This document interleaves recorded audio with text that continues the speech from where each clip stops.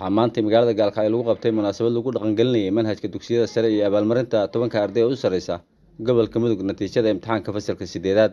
Waxaa munaasabadaasi ka qaybgalay wasiir ku-xigeenka wasaaradda waxbarashada puntland cabdiraxmaan yuusuf faarax. Wasiir ku-xigeenka arrimaha gudaha puntland cabdiweli mire xirsi gudoomiyaha gobolka mudug gudoomiye ku-xigeenka gobolka mudug gudoomiyaha waxbarashada gobolka mudug iyo mas'uuliyiin kale. Munaasabadan uu soo qabanqaabiyey. Guddoonka waxbarashada gobolka mudug ayaa sidoo kale waxaa goobjoog ahaa maamulayaasha dugsiyada sare waalidiin iyo arday. Ugu horreyn waxaa munaasabadaasi ka hadlay guddoonka waxbarashada gobolka mudug axmed huruuse xaashi maanta waa labaatan iyo sideedii bishii toddobaad laba kun labaatan iyo labada. Waxaana joognaa hoolka cumar samantar. Waxaana iskugu nimid sidaan u baahino ama loo daahfuro buugtii dugsiyada sare ee puntland oo la gaarsiinayay iskuuladii oo sanad dugsiyeedkan laba kun labaatan iyo labo laba kun labaatan iyo saddex buugta lagu shaqayn doono buugtaas oo ah buug dhammaystiran buug tayaysan si la midana xafladeenna waxaa inoogu jira inaan abaal marinayno oo iyaduna qaybta ugu weyn ah ardaydii tobanka ahayd ee ugu sarreysay gobolka mudug oo qayb ka midana ay ahayd ardaydii ugu sarreysay puntland qaybna tahay tobanka ugu sarreysay gobolka mudug. Runtii ardadaasna waxaan ku abaalmarinaynaa halkan baan ku abaalmarinaynaa ardadaas waxay heli doonaan dhammaantood deeq waxbarasho oo dugsiga sare oo afarta sano ah arday walbana asaga ayaa la wacay meesha uu doortay iyo xaruntii uu isagu rabay ayaana arday walba la geeyey waxaan rajaynaynaa insha allah ayaga iyo waalidkoodna waxaan rajaynayaa inay inala wada joogaan. Waxaan rajaynayaa buugta oo muhiimad gaar ah inoo leh oo puntland muddadii ay jirtay iyo intii ay jirtayba caqabadaha ugu badan oo ay haystay ee ahayd manhajka maanta in laga biskooday. Sidoo kale qaar ka mid a ardayda iyo macallimiinta ayaa iyaguna halkaasi ka hadlay. Macadka xaajiriya college waxaana ardayda fasalkan fasalka afraad oo ugu dambeeya galaysa waxaan noqon doonaa insha allah ardada la kowsan doonta manhajka cusub ee ka qayb qaadan doonta sanadkan. Insha allahu tacaala ilaahay noo fududeeyaan rajeynaya iyo dhammaan cid kasta oo ila galaysa marka labaad waxaan u mahadcelinayaa wasaaradda. Waxaan leenahay waa ku mahadsantihiin sidaa noo dhiirigeliseen iyo sidaa noola dadaasheen. Ilaahayna niga abaalmariyo waqtiga fiican geliso intaa soo daba joogtay soona aruurisay buugtii badnayd oo lagu wareeri jiray iskuna dayday inay ardada iyo waalidkaba wax u sahlanaadaan. Buugta waa qaadanaynaa insha allah manhajku waxaan leeyahay waa soo dhaweynaynaa oo waxaan aada ugu baahnayn oo waxay ardadayadu aada ugu baahnaydeen. Waad ogtihiin annagu waagaanu waxbarashada ka baxnay aanu waxbaranaynay. Library baanu aadi jirnay waqti baan ku dhimin jirnay waan socon jirnay aad baad u mahadsantihiin. Anigoo khibrad u laho og ardada culaysyadii ka haystay manhaj la'aanta. Marka oo aan dareemahaya ardadu faa'iidooyin fara badan inay heli doonaan ama culays fara badan inuu ka dejin doono faa'iidada koowaad oo ardadu ay ka heli doonaan manhajkan waxa weeyaan ardayga casharadiisii oo dhan inuu hal meel ka helo. Faa'iidada labaad ardaygu ka helaya waxa weeyaan waxaa dhici jirtay ardada in loo diro waraaqa koobiya oo soo koobiyeysta la oran jiray. Arrintaa koobiga lacag badan baa waalidka uga bixi jirtay cabasho badan baa ka taagnaan jirtay way noo imaan jireen waalidiintu ayagoo ka cabanaya arrintaas insha allah iyadana xal buu ugu noqon doonaa manhajkan.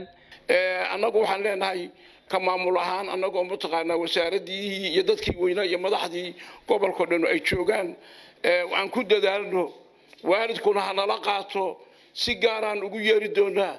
Weliba way fududeeyeen dadka mataqaanaa bugtan soo guxayay.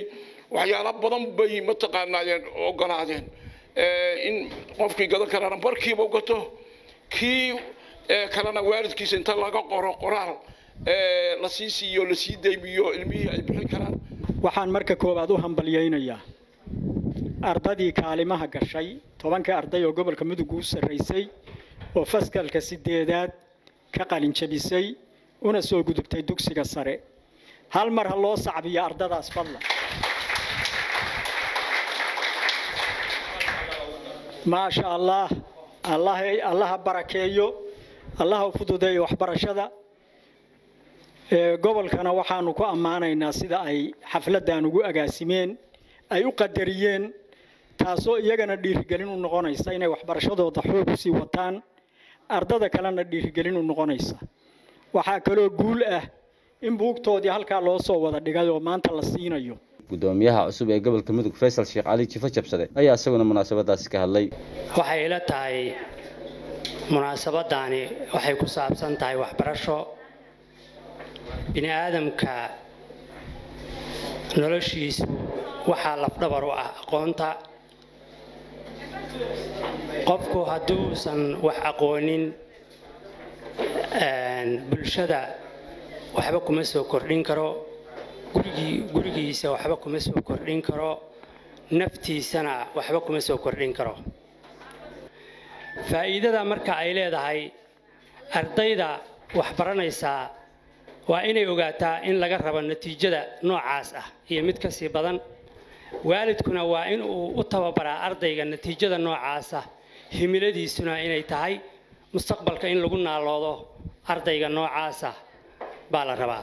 Ugu dambeyn wasiir ku-xigeenka wasaaradda waxbarashada puntland cabdiraxmaan yuusuf faarax iyo wasiir ku-xigeenka arrimaha gudaha puntland cabdiweli marexirsi ayaa labadaba halkaasi ka hadlay. Hadnaqa guud waxaa weeye wasaaraddu leedahay mar haddii silbisyadii iyo qolfoofyadii hore loo diyaariyey maantana manhajkii oo qoran oo ardaydii buugtooda la siin waxaan leenahay wasaaradda waxbarashada aad baad u mahadsantihiin waxaan leenahay shacabweynaha reer puntland waxaan leenahay waa inaad wasaaradda ay garab istaagtaan culeysyada iyo waxyaalaha ay gacanta ku hayso oo ah waxbarashadu ay tahay ummad waxbaratay ayaa wax la soo baxda ama horumar gaadha. Marka kawaaridi ahaanna annaguna dhibaatadii waa ka baxnay. Wasaaradda waxaan leenahay mar labaad iyo mar koowaad iyo mar saddexaad iyo mar tobnaad iyo mar boqolaadba aad baa u mahadsantihiin mid waxay tahay hambalyada iyo bogaadinta aan u marinayna hawada ardaydii tobanka ka gashay kaalimaha koobaad ee tobanka ah iyo manaahijtii muddada dheer soo socotay dhaqangelinteedii. Sidaad la socoto haddaan ku horeeyo manaahijtan manaahijtan maraaxil badan bay soo martay. Madaxweynaha dowladda puntland iyo madaxweyne ku-xigeenka ayaa daha furay.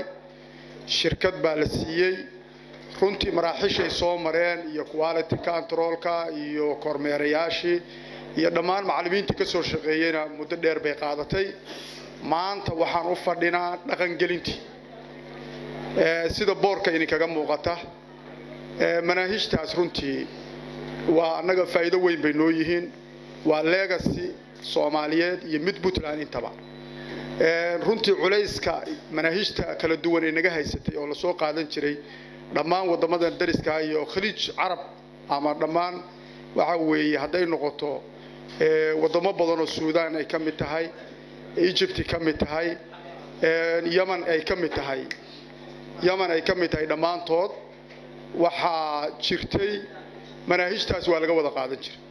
Dhibaatooyinka ugu badanoo hadda waalidiinta iyo cabashooyinka ay yimaadeen waxay ahayd koobi anugu hadda waalid baan ahay iska soconaya oo aan limid iyo wakti lahayn.